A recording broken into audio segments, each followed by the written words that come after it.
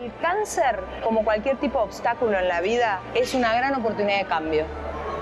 Siempre ir para adelante, siempre este, pensar en el futuro, no quedarte con el pasado.